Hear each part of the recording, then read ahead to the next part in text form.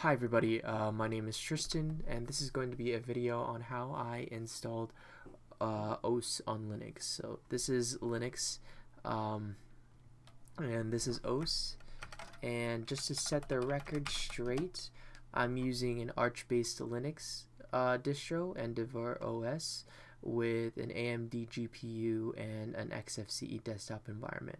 While the distro and the GPU don't matter too much, there are things that I did that I believe, correct me if I'm wrong, they're unique to XFCE, the desktop environment, that may differ um, from other desktop environments such as GNOME and KDE.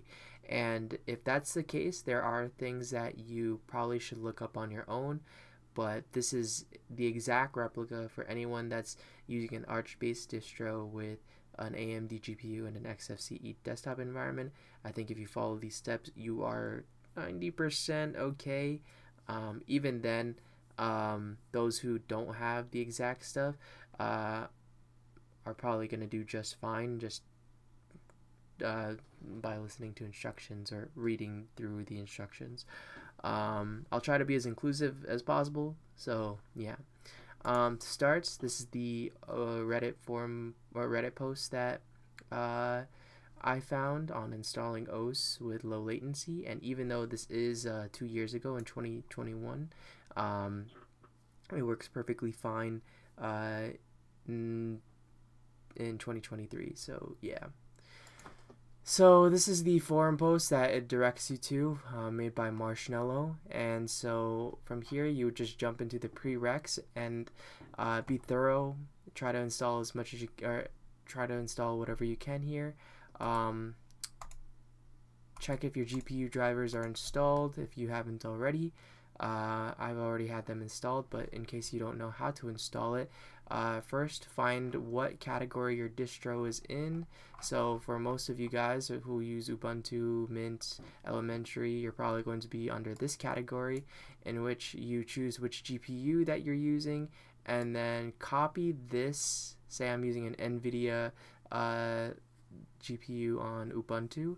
You copy this whole line um, that's under this NVIDIA tab and then you go into your terminal which you can either do by control alt T or going to your application menu and then uh, putting in or typing in terminal there and then you can either paste uh, right click and paste here the command or control shift V which is the hotkey to paste on a terminal so then you go through the installation you install it and then you would reboot your system um, after you're done.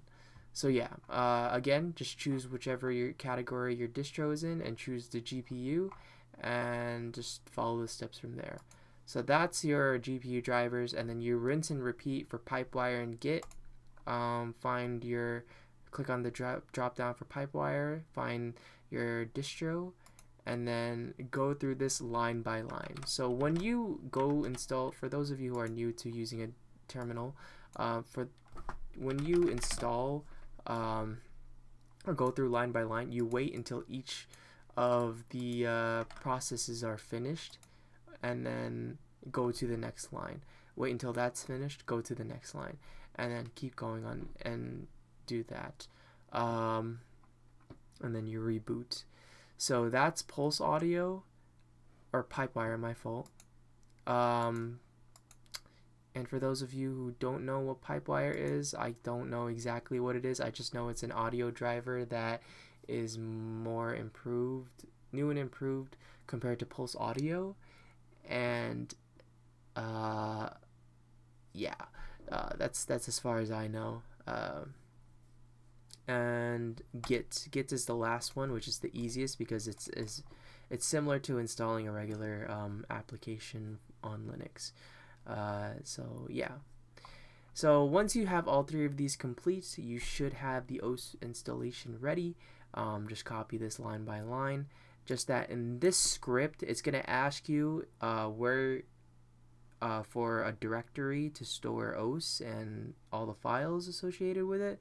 Uh, and then it asks if you want to add it to your application menu, which I suggest because the other option is this thing right here where you have to go into your terminal and type in osu-wine whenever you want to um, run a run osu.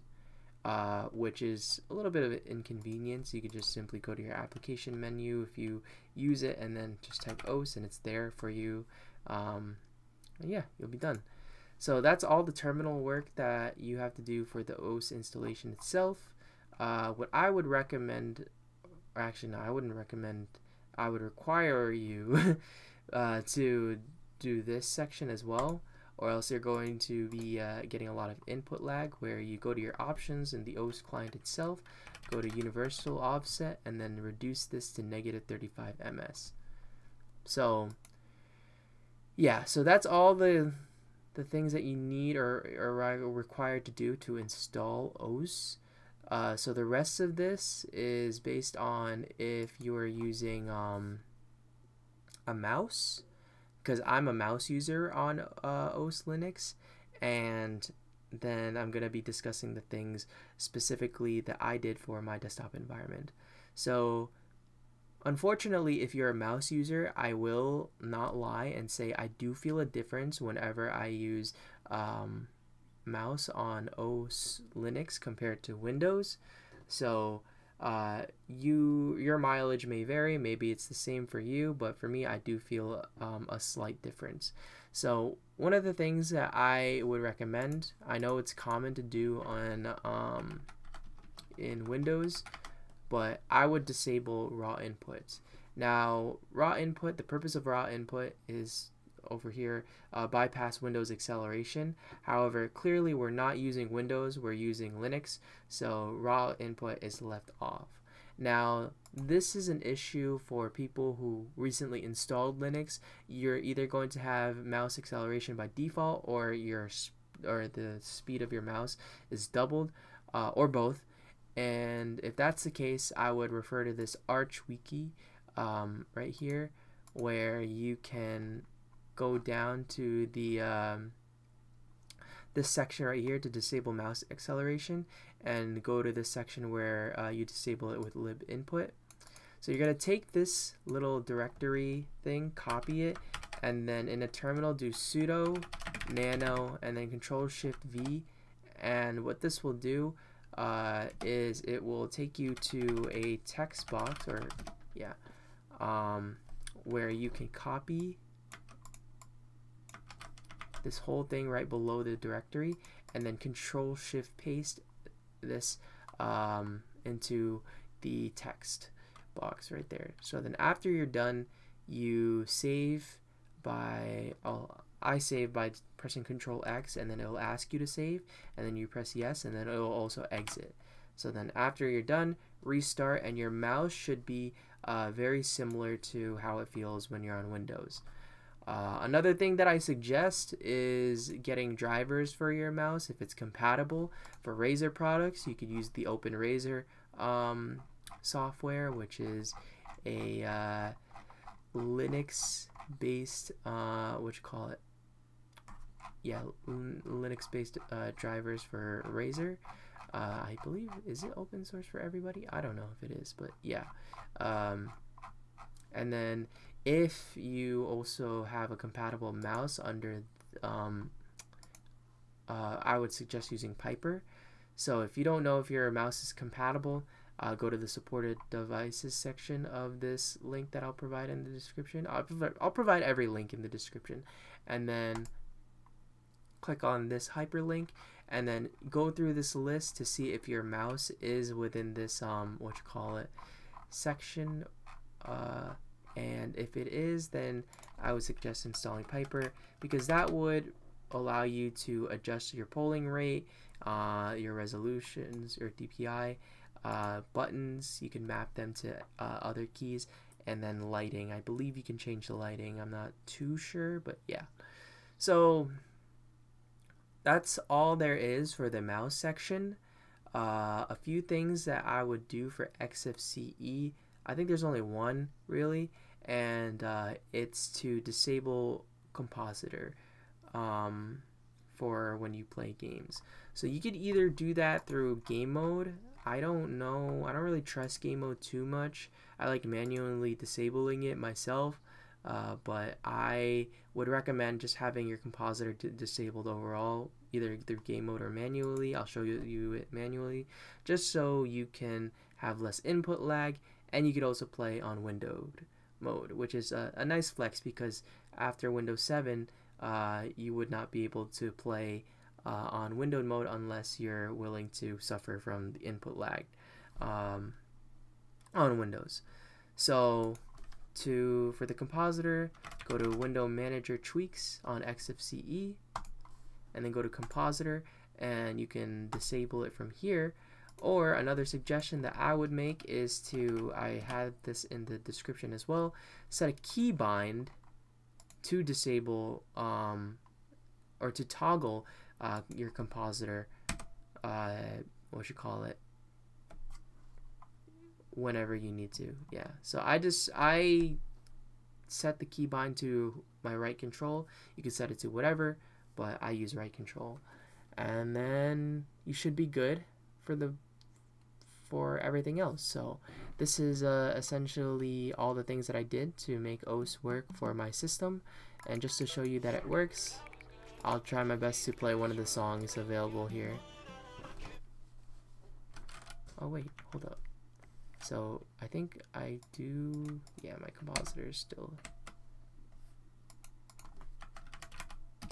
It does work, I just don't know, yeah, there you go.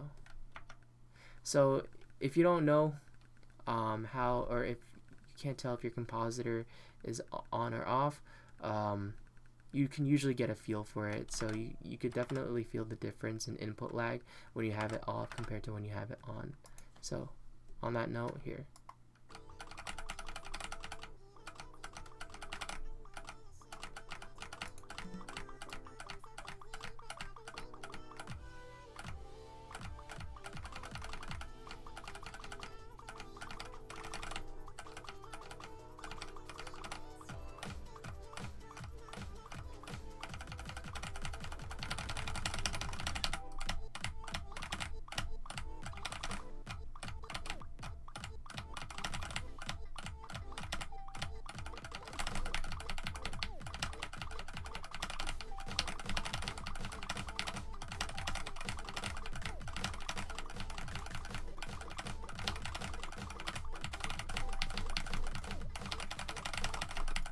So yeah, uh, I failed, but doesn't really matter.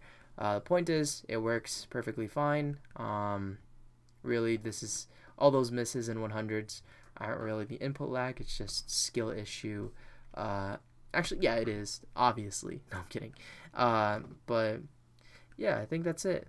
Uh, that's basically all I really wanted to show. And thank you for watching. I am out.